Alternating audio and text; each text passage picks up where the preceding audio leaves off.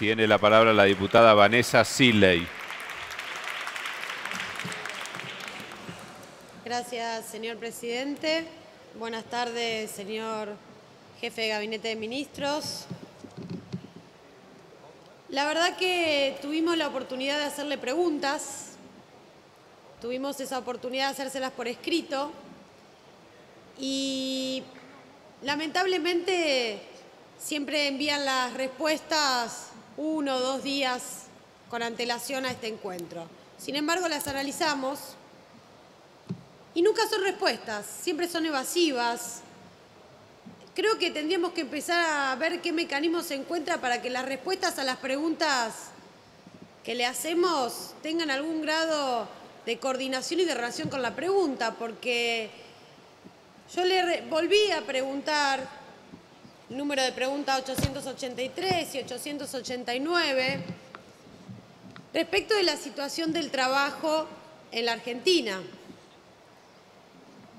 Puntualmente le pregunté qué, qué relación tiene por parte del Gobierno Nacional que según las estadísticas oficiales los 161.300 despidos que solo se cuentan en los primeros seis meses del año 2018, ¿cómo es posible que piensa el Gobierno, cómo es posible que piensa usted o el señor presidente Mauricio Macri revertir esa política si achican el Ministerio de Trabajo, Empleo y Seguridad Social al nivel de una secretaría, una Secretaría de Estado, de Gobierno, como ustedes la han denominado. ¿Cómo se relaciona? ¿Cómo se va a evitar por parte de la Administración Pública? No hablamos del modelo económico, esa pregunta le hicieron mis compañeros y compañeras, no, ni siquiera le hablo del modelo económico, sino de la Administración Pública. Y usted en vez de responderme con políticas de fondo, en vez de responderme con las funciones específicas que va a tener o debe tener el Ministerio de Trabajo, respondió citando el decreto 801, que es el que eh, hizo la reducción grande del Estado. No respondió a la pregunta concreta que le realizamos y sabemos muy bien, porque salvo que usted crea y que el gobierno crea que los trabajadores y trabajadoras somos tontos, que somos tontos, Sabemos muy bien que cuando se achica el Estado se alejan las políticas de la gente y menos soluciones hay para los más humildes y para los de abajo. Es una clara definición ideológica retrotraer un esquema de administración pública previo al año 1949, que es cuando se creó el Ministerio de Trabajo. Además de esta situación, de esta cantidad de despidos, de la falta de respuesta, del desguace del Estado, Puntualmente en el presupuesto que enviaron para el año que viene, el ex Ministerio de Trabajo, hoy devenido en Secretaría, tiene una reducción enorme en lo que es el programa de regularización del empleo. Ha bajado un 31% en el análisis nominal del presupuesto. Un, 31% un programa destinado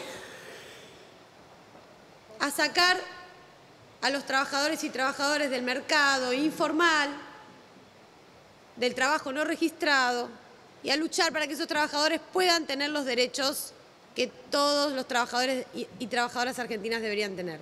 Ese programa se reduce un 31%.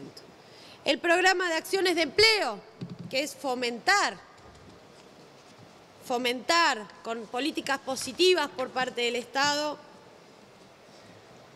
a aquellos desocupados y desocupadas a conseguir un trabajo, se redujo un 10%. Y la capacitación laboral, un 5%.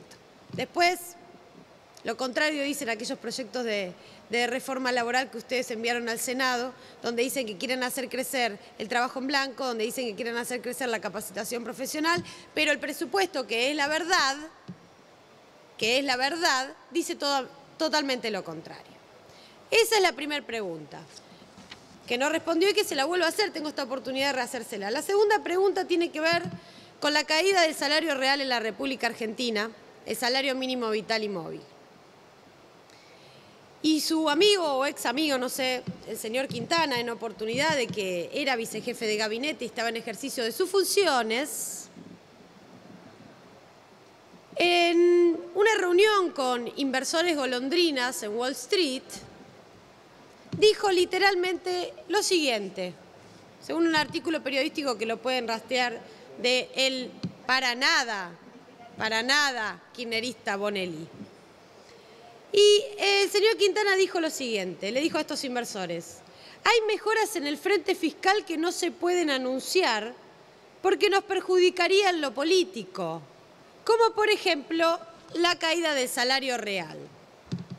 Y dijo la verdad, ahí sí dijo la verdad, porque el salario real cayó del 2000, el salario mínimo vital y móvil, ni siquiera el salario real, el mínimo vital y móvil, del diciembre del 2015 a la fecha cayó un 53%, colocando a la Argentina detrás, en América Latina, detrás de los países Chile, Ecuador, Guatemala, Honduras, Paraguay, Bolivia, El Salvador y Perú. Allá al fondo estamos, de la tabla.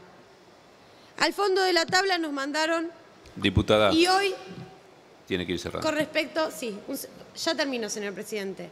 Con respecto al salario mínimo vital y móvil.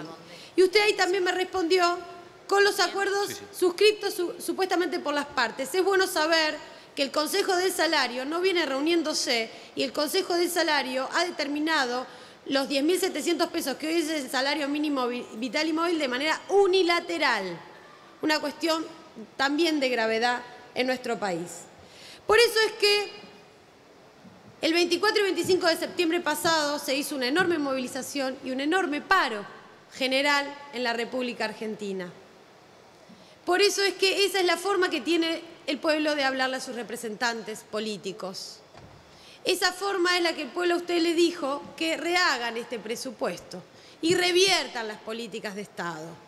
Evidentemente ustedes son representantes de los que viven en Nueva York, de los que viven en Washington o de los que viven en Wall Street, pero no son representantes del pueblo argentino. Demuestren que lo son y cambien el presupuesto. Muchas gracias. Gracias, señora diputada.